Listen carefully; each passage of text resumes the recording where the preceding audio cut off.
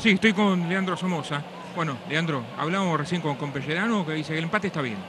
Sí, fue un partido duro, trabado, con un equipo que sabemos que el local te, te exige, mete mucha gente en el arco, en el arco nuestro, pero creo que lo, lo supimos manejar bien durante los 90 minutos. ¿no? En un momento se hizo picadito el partido.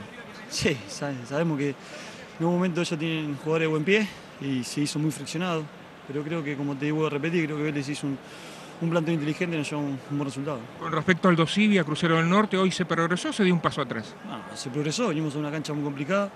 Los dos de local lo, lo ganamos, creo que nos tenemos que hacer fuerte de local otra vez y lo, lo pudimos lograr. Hoy venimos a una cancha, como te dije, que, que Newell está siempre peleando, está siempre ahí arriba. Hay que estar tranquilo, hay que seguir sumando. Somoza, gracias. ¿eh? No, gracias a usted. Los dos de